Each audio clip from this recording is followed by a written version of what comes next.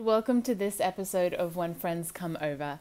Uh, I want to talk about today the gift of a surprise. And I know that surprise can mean something to something different to a lot of people. And so if surprise doesn't necessarily mean a good thing to you, then I hope that if you listen or watch this that you might get a different takeaway from my perspective on it. So I definitely know that sometimes surprises aren't a good thing. So I hope that that doesn't turn you off from listening or watching this.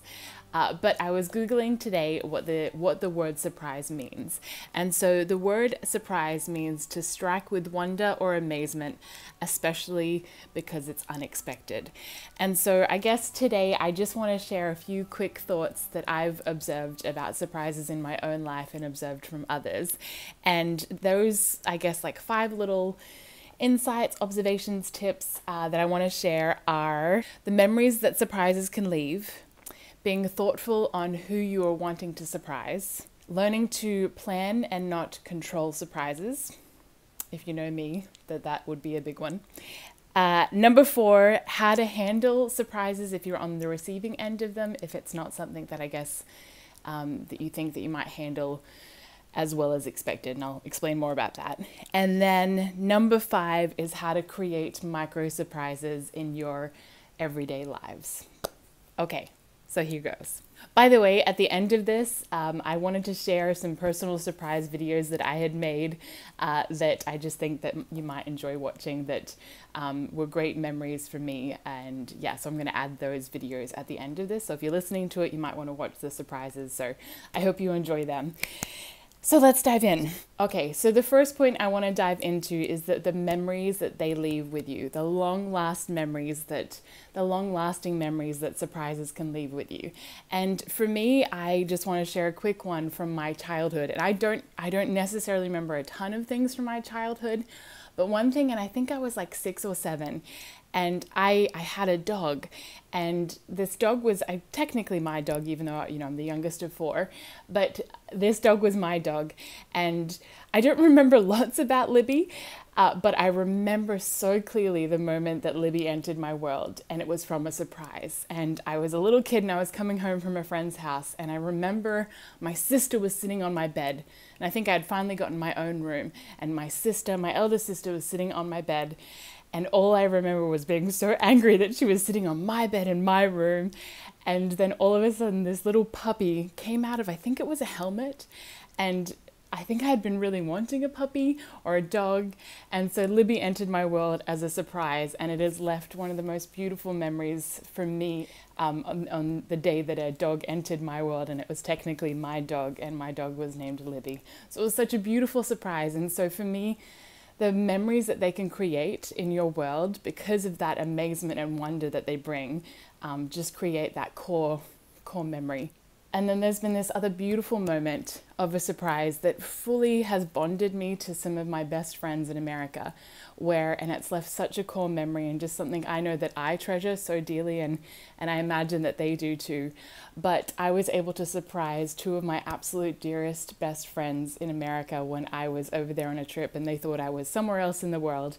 And being able to surprise them and their reaction, which will be in one of the videos, was just the most priceless gift to me. And I know it was such a joy to them. And so that has definitely left this beautiful imprint on my soul and on our friendship. So I know the memory that that has created for me. And I'm sure you have examples of, you know, some of your core memories. Maybe they came from a surprise. So I'd be curious to know if that was your own experience with surprise. So that was number one the memories that they leave. There's other stories I could think of, but those were two that I wanted to just share. The number two thought that I wanted to share about surprises, and especially when it comes to when friends come over, is that you want to be really thoughtful on on who you're trying to surprise because obviously introverts and extroverts work very differently and should be celebrated for that but you really never want to plan a surprise party for an introvert full of so many people in a room. That just wouldn't be intentional or thoughtful to the person on the receiving end, which is really what the surprise is about, is being thoughtful on who is receiving the surprise. And so for me, I just want to share, again, it will be a video at the end, but this beautiful moment that I created for my mom, who still technically is my friend, so, you know, when friends come over it can include your family. And uh, I was able, it was her birthday, and I know my mum is, you know, not one for crowds or, you know, big attention on her, but uh, my myself and my two sisters took her out for um, like an afternoon tea. And I had arranged for a video greeting from someone who she had followed for like 30 plus years in this fitness world. And I was able to get a greeting, a personalized greeting from her. And we were able to share it together, just us daughters and my mum. And it was just such a beautiful gift that I was able to give to her, but it was also so intentional about it being for her because she's someone who prefers that close, smaller gathering. And so being thoughtful on who you're trying to surprise, uh, I think really matters. And it's just such a gift. And I just remember that moment so it was so special, but it was more so special because of the intentionality behind it on not trying to make something that was not bespoke for the receiver. So be intentional on who you're trying to surprise. Okay, number three is planning and not controlling the outcome of a surprise. So I'm quite the planner and I'm also a recovering control addict, so it's still very much in recovery. But there's been a few surprises that definitely didn't go the way that I had planned or the way that I had expected and imagined, and so obviously was managing all of that. But I think when you can I guess, have the outcome that you want to surprise someone, do something for someone, but try and not control every single detail of how that is going to work out. And again, another video at the end of this one was uh, actually two videos at the end of this one were where I was traveling and there was two friends, very different um, situations. One of them was in England and one of them was in Australia, and it was at a restaurant. So there was lots of different nuances involved in that. But my intention, the outcome I wanted was just to su- surprise them. And both of them worked out, but I know in my head, I got so in my head about all of the details that could have easily have gone wrong that when there's other people involved in it, I was so getting worked up about it that I didn't fully get to enjoy the process of creating the anticipation because I was too trying to control everything. But it, thankfully, the outcome worked out great. I was able to surprise both of them, but I know there have been times where I've just not managed that as best that I could, and I ended up getting disheartened because I was trying to control everything. And so sometimes I think it's just focus on the outcome. Oh, for example, love my dad, uh, but I had just gotten out of quarantine, but I had tricked my sister and and her daughters that I wasn't going to be home in the country for quite some time. And um, so I'd planned with my parents that I actually was in the country. I was able to surprise them, and so I had asked my dad to film the surprise, and he had forgotten to film the surprise. But the outcome was my sister got a surprise, and that is what mattered. And we both have that memory, so that's what matters most. Um, but, you know, obviously, I was trying to control every single detail of it, and it just doesn't work out sometimes. So that's okay. Number four is how to handle a surprise if maybe it's not something that you're used to. And this actually happened really recently, and it happened to me personally because I love being the one who plans things and I love surprising people.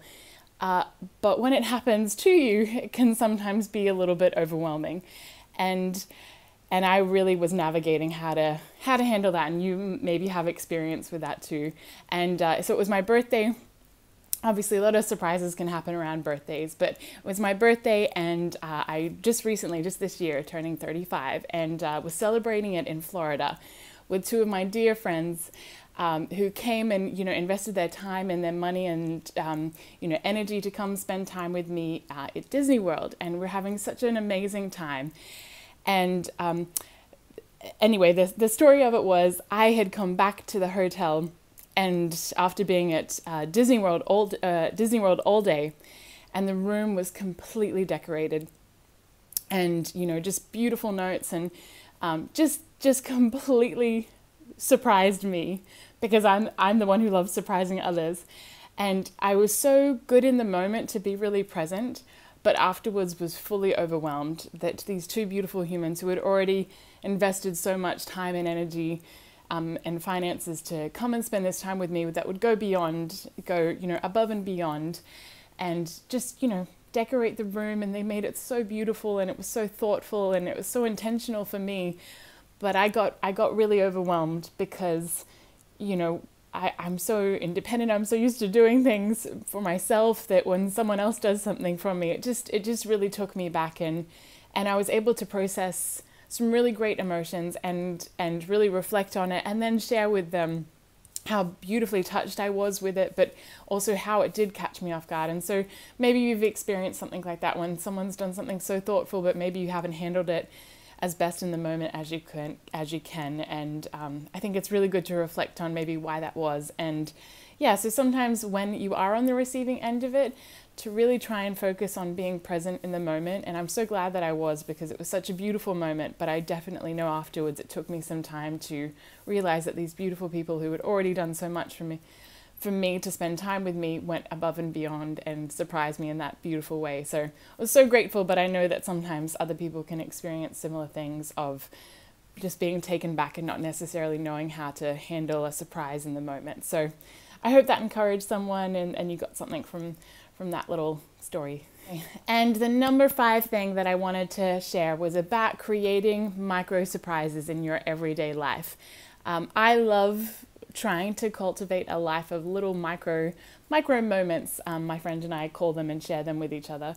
Uh, but micro surprises. And I think if the definition of surprises is to strike with wonder or amazement, especially because it's unexpected, then I think that that's a really easy thing to be able to do. And so maybe this will be a challenge for myself and, and maybe an encouragement for you to try and create some more micro surprises in your life. If you don't think it comes easy to you, I think you can start small. Maybe, you know, maybe a surprise could be complimenting someone that you see regularly at the coffee shop, in the street, and being genuine and thoughtful about it. But that's going to be something unexpected for people. I can almost guarantee it uh, for sure. It's something that brightens my day, and again, that's what a surprise is is meant to do: is to brighten your day, to bring wonder and amazement. Uh, so maybe you can compliment someone. Maybe you can send a text message to someone that will just be really thoughtful. Because again, I think the best kind of surprise is one that's thoughtful. And I have some of the you know most amazing friends in the world, and I know that they would value something small and kind rather than something grand that you that really doesn't doesn't give them the gift of a surprise at all, and it will um, not be making them seen or you know feel like that they're valued because it doesn't yeah it's not a gift to them. So being thoughtful and intentional and knowing your friend maybe it's buying a coffee for a stranger or just doing those little things that you can find in your everyday and it's smiling at the checkout person. There's so many ways. I guess it's being kind as well. It's it's for sure about being kind, but I think it will also become as a surprise to people because maybe it doesn't happen in there every day. So, okay, those are my five things. I hope that this has been um, a great little nugget for your day, and I always like to hear from you, so please do uh, share with me. Um, like, if you feel like it, do those podcast things. Honestly, whether one person watches this or however many people watch it, uh, the intention for me is to be able to express some of my creativity and um, just share some thoughts that have been, I guess, on my mind. And so, thank you so much for taking the time to watch this, listen to this, and I hope that you have a lot of beautiful, surprising moments in your in your week, in your day, um, in your year ahead. So thank you so much, and thanks for being a part of When Friends Come Over. Okay.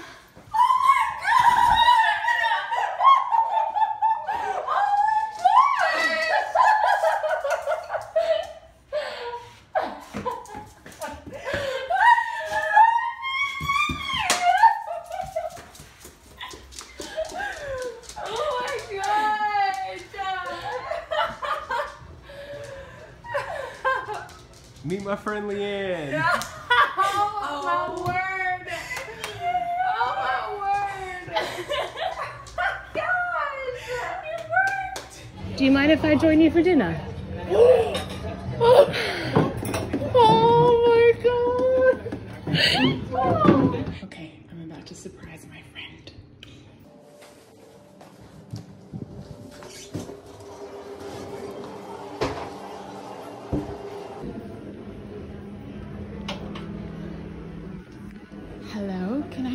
too? so I've got some different gifts. And it's Your love. I, a gift that I think you should like is um, Very something emotional. that you inspired me by. Oh. So here we go.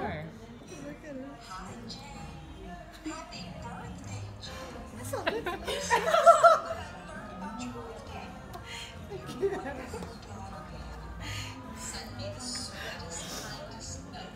Canada.